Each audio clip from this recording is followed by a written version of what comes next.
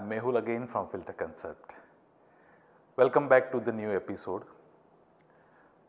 As we uh, agreed upon that we would be taking this journey on various aspects of filtration and today we are going to cover three major classification of filtration where we will talk about liquid filtration, air filtration and gas filtration. So, let us start with liquid filtration first. In this topic, we would be focusing only on liquid filtration, a removal of suspended particles from liquid, from any liquid. We will understand what are parameters need to be considered while working a right solution for liquid filtration. So, there are certain basic parameters which one should always consider while selecting the filters. And here I will explain you what are that uh, you know uh, what are the steps we need to follow, what are their uh, you know basic importance of those steps while designing the adequate filtration system. So, uh, first is what material we are going to handle. Second, flow rate. Third, viscosity of that fluid which we are going to handle. Specific gravity, working temperature, working pressure suspended solid load available, micron rating and its efficiency. And the nature of contaminants. And lastly the bulk density of that suspended solid or contaminants available.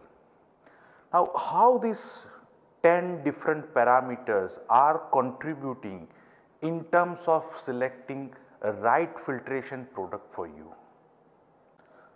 So, let us start with material to be filtered. So, material to be filtered would identify what sort of uh, you know uh, body material you should use, what should be your filter media or filter consumable material, what should be your uh, you know gasket material to be used. So, material to be filtered would identify these three basic parameters and that is directly related with the chemical compatibility of that material. Say for example, you are dealing with certain acids. So, acids are compatible with certain material, certain metals in some cases it required different type of material or a different type of coating, lining or uh, you know a, a, special treatment on the surface of that metal to make the external body for that filtration system. So, this is how it is really important that one should understand what material or what fluid is to be handled and that is how they, it, it contributes uh, a base through which your journey of designing the adequate system starts with. We have certain uh, recommendation for what, sh what should be the uh, filter housing material, filter element material, filter uh, you know media uh, to be selected or the gasket material. We have our chemical compatibility chart for various fluids available for the, uh, for the liquid filtration. One can refer them on our website that is www.filter-concept.com that gives you a whole idea for what sort of liquid, what material to be used. So, that is one area. If your selection of body material is not adequate probably you can't expect your desired life through that filtration system. So, it is really important to analyze the liquid characteristics while selecting your filter material. The next we talk about flow rate.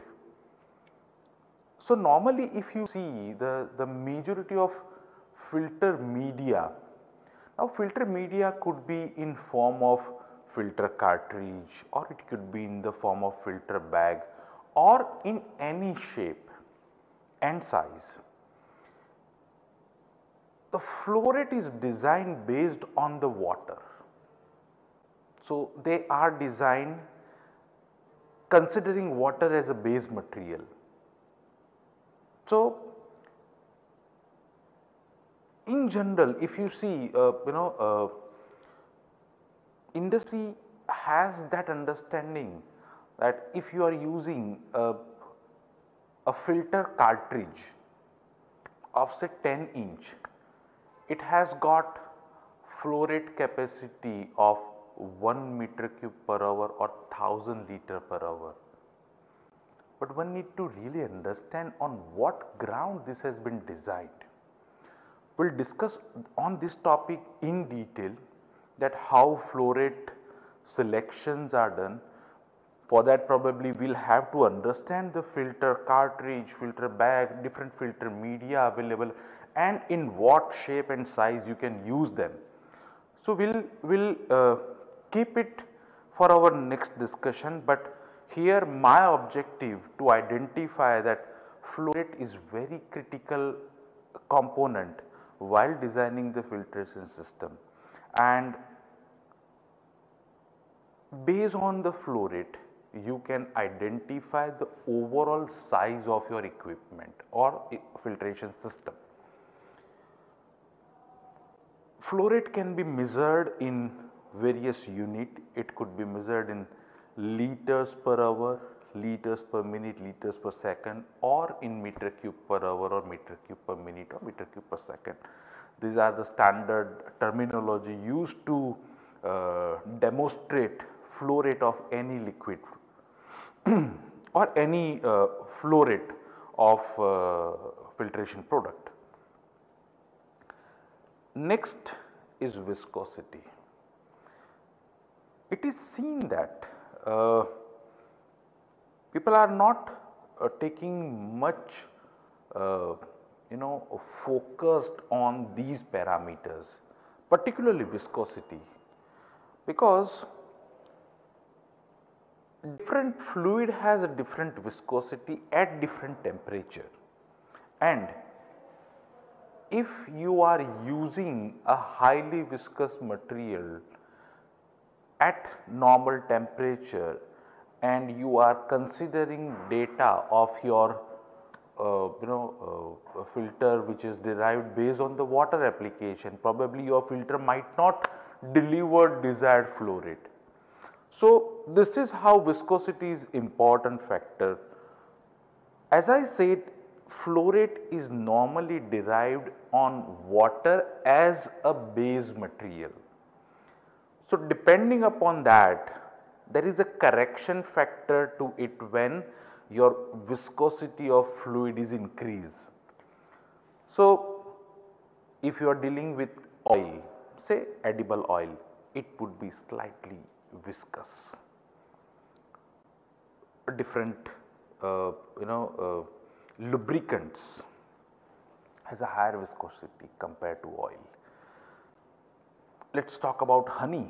Honey is much viscous than other fluid, ghee for that matter when it is at room temperature. So, different fluid has a different viscosity and different viscosity would contribute differently to the desired flow rate. So, that is how viscosity is critical. You can't expect that you are you are uh, your filter designed for uh, 1 meter cube per hour for water would deliver you 1 meter cube per hour with honey. No, you will have to add your correction factor while selecting the filter media for honey filtration. And at that too at relevant temperature. At what temperature process is going to be uh, uh, you know conducted. So, uh, I think we have tried to cover three major parameter uh, material to be handled flow rate and viscosity in this episode. Uh, we have more to discuss on this subject and uh, we will try to cover the balance parameters in our coming episode. Meantime, if you have any further input on our presentation, on our this approach, you can feel free to contact us, you can write to us for any of your recommendations, suggestion which can help us to improve upon and deliver a right solution to you. Thank you so much.